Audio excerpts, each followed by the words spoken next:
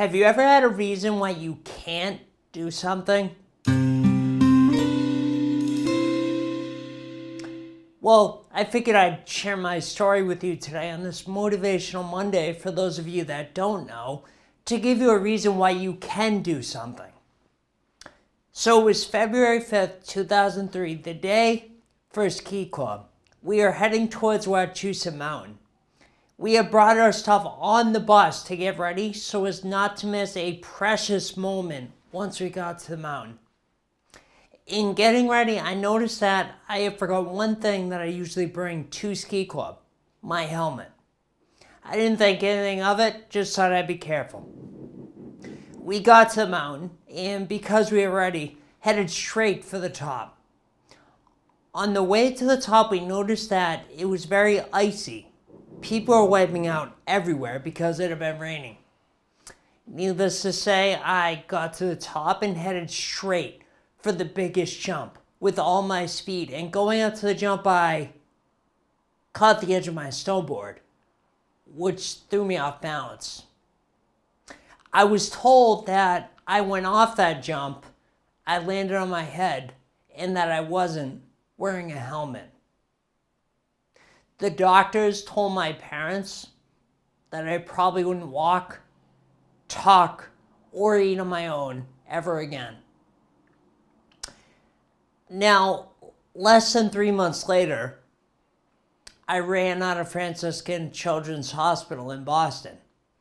Now, how did I get from in a coma, not being able to walk, talk, or eat on my own, to running out of the hospital? Well, first and foremost, I set the big goal, and you should all have a big goal that you're shooting for. I set the big goal to run out of the hospital. Now, if you look at it from a standpoint of, okay, that was my physical goal, was to do that, it was a pretty big deal at the time because shortly after coming out of my coma, I had to be supported by three nurses just to sit up in bed. So to set that goal of running out of the hospital, that was a pretty huge deal. So that was my physical goal. Now I had to learn how to eat again, how to swallow again.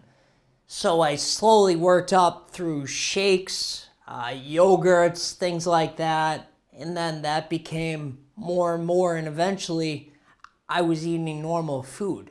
Now, my goal throughout that whole journey in the hospital was a Coke and a grinder.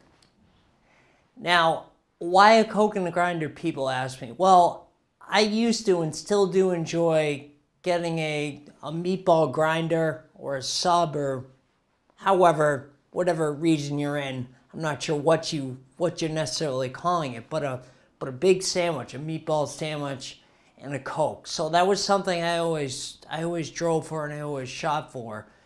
And on my last day at the hospital, we walked down to the town pizza, the local town pizza that was next to the hospital, and I realized my goal of having a Coke and a grinder, and then we left there, and that's where I did my running. That's where I ran out of the hospital. So I realized both those goals because I kept them in front of me and I keep I kept working towards uh, just accomplishing what was put in front of me by the therapists, by the doctors, because they were the experts. So, my question for you today is once you have that big goal that you're shooting for, are you listening to the experts, to the people who are going to help you get from point A to point B? This is Nick Prefontaine. This was a quick motivational Monday. Hopefully that helps you guys, and we look forward to helping you real soon.